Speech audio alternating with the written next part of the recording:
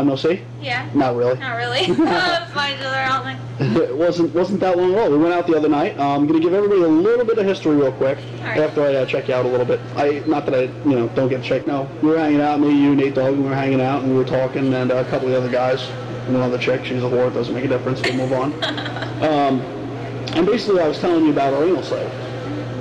Now, um, so you are really in a virgin. You're not going to be in there like, yeah, woohoo, this is the greatest thing. I love getting anal every day. Willing to try something new, I guess. You're willing to try something new. I'm starting to like hearing that from you. It's cool.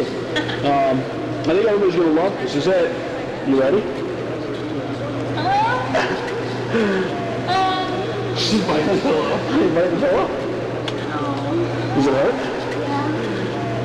If I to tell him to take it out and put it back in, it would hurt? Yeah. yeah. Take it out and put it back in. That's, that's the only way you're going to be able to really get through that.